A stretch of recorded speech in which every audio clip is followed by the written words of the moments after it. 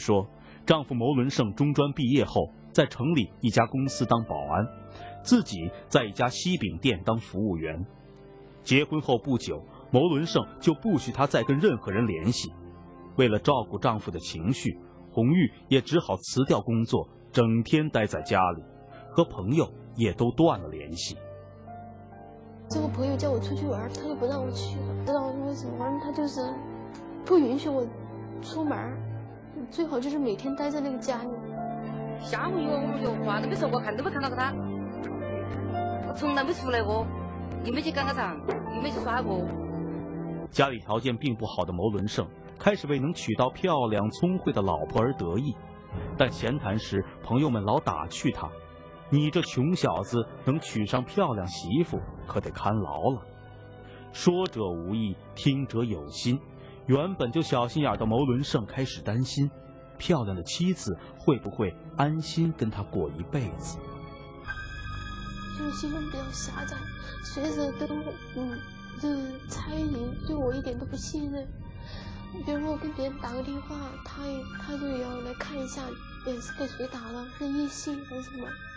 我是他就打电话骚扰他，他喊你给别个打电话打打的去，他不接，对不对？我就想。牟伦胜一直小心地注意着妻子的一举一动，而因为要生孩子了，很多朋友打电话来问候，红玉跟外面的联系自然也多了起来，这让牟伦胜非常不安。我觉得是对的，我考虑了，考虑给你过一次的，我是下子。他说他自己都想了那么久了，怎么对付我？可是我一点都没有察觉出来。跟他在一起生活了那么久，我都不知道他对我居然有这么狠的想法。最终，法院判处牟伦胜有期徒刑八年，并附带民事赔偿红玉五万六千三百一十六元。庭审结束后，红玉说：“今后会带着儿子坚强的生活下去。”那时候，夏红玉和他的儿子得到了很多人的无偿援助，包括法律、医疗和经济上的帮助。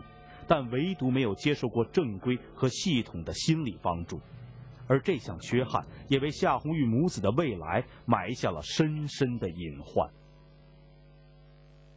像红玉当时没有得到及时的心理救援的话，会对她以后的生活埋下很多隐患吗？对啊，肯定。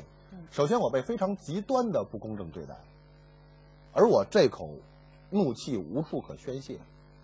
呃，周围的环境对我不公平。